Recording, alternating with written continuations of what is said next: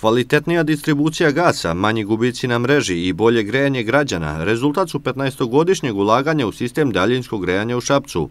Ovog leta rekonstrukcijom 105 toplovnih podstanica, poslom vrednim 400.000 evra koji je finansirao grad, završena je modernizacija postrojenja.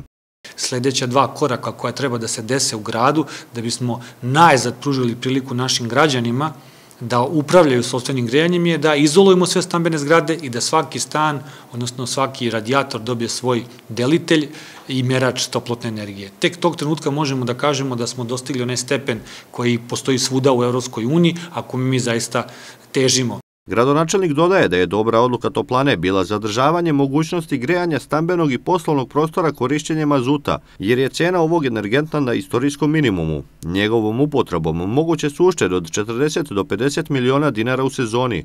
Osim toga, nadležni razmišljaju i o alternativnim načinima grejanja. Biomasa je jedan veliki potencijal i šansa za čitav ovaj kraj.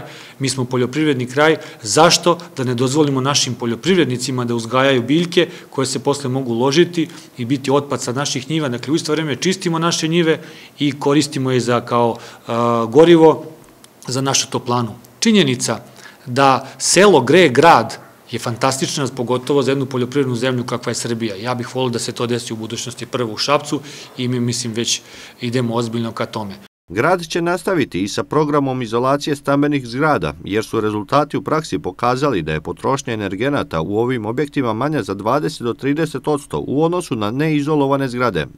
Ako bismo od Ministarstva građevine i od ministarke dobili priliku da pokažemo koliko smo zaista sposobni i omogući nam da realizujemo taj projekat između Nemačke vlade i vlade Republike Srbije, gde bi Šabac bio pilot projekat za izolaciju stambenih zgrada, a već smo pokazali da možemo to da uradimo, vidjeli biste sledećeg, sledećeg proleća uh, jednu uh, neverovatnu navalu svih domaćih majstora, svih domaćih mašina, uh, materijala, skela na naselje Benska bara, koje bi za 3 ili 4 meseca bilo potpuno izolovano i moglo da smanji potrošnju energije u gradu za neki 20%.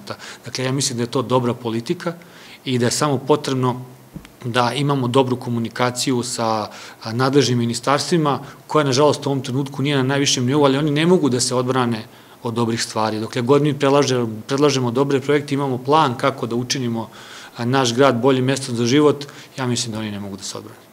Tabele sa uporednim prikazom iznosa cena grejanja u Šapcu i drugim gradovima mogu se naći na zvaničnoj internet prezentaciji grada. Iako one prikazuju podatak da je grejanje u Šapcu među najjeftinijim u Srbiji, grad će i ove godine plaćati polovinu računa ekonomski najugroženim građanima.